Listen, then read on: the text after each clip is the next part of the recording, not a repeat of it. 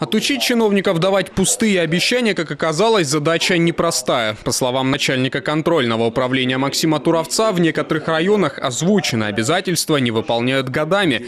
Например, чтобы разобраться сегодня в поручениях губернатора, сорванных по срокам в Крыловском районе, понадобилось 35 минут. В муниципалитете уже два года не могут возвести пристройку к школе и почти год не ставят на учет зеленые зоны. Был установлен конечный срок выполнения поручения – июль 2017 года. Однако работа в данном направлении в районе ведется неудовлетворительно.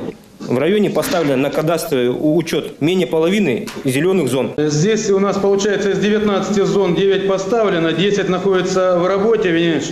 Ну вот э, по срокам, я думаю, еще если можно до середины года этот Ну, у вас вопрос. так сроки все прошли. Сколько вам время нужно для того, чтобы зелеными зонами закрыть тему? Раз и навсегда. Ну, если можно, э, вот до 1 июля.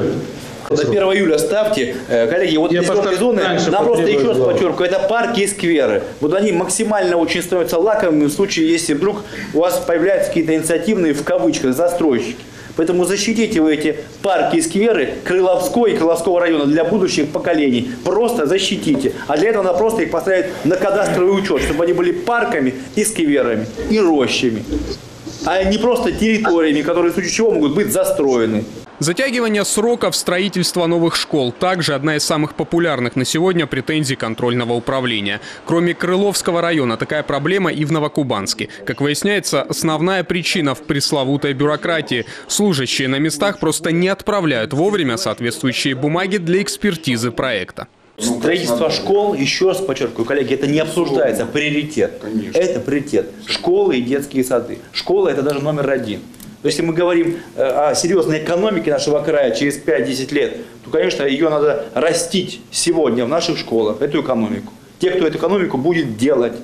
И на это денег мы жалеть не будем. Еще подчеркиваю, это приоритет, стратегический приоритет. Все. Притом мы должны подойти к э, начинке школ, э, современнейшей начинки. Чтобы наши ребята были по уровню подготовки не хуже столичных. Однако полбеды, когда строительство школы затягивается. Хуже, когда ее нет даже в планах. Вопросы у губернатора по ситуации в Краснодаре. По двум адресам в краевой столице возводят многоэтажные жилые дома без подготовки для детских садов и школ. Никакой точечной застройки без комплексного освоения территории быть не может, напомнил Вениамин Кондратьев.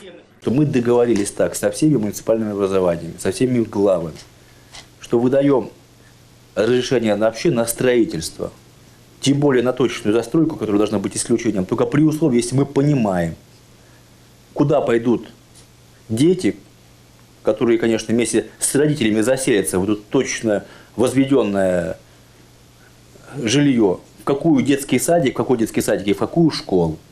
И если у нас рядом и даже ближайшие садики и школы переполнены, то там не может быть никакой точной застройки.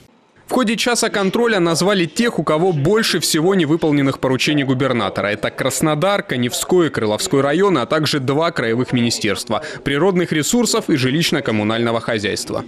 Самое опасное, когда власть обещает и не делает. Вот в чем вопрос-то, коллеги. Пообещали, вы не положь. Все, тогда не обещайте. Об этом речь идет. И это правильный подход, коллеги. Если уже сказали, то сделайте. Если обозначили срок, сказали будет вот так. Вот все. Значит, в этот срок и вот так, как сказали, так и сделайте. Это правильно. Это сегодня, еще раз подчеркую, нужно.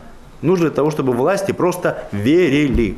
В противном случае, кто так не может, ну, значит, наверное, в бизнес нужно идти, еще куда-нибудь.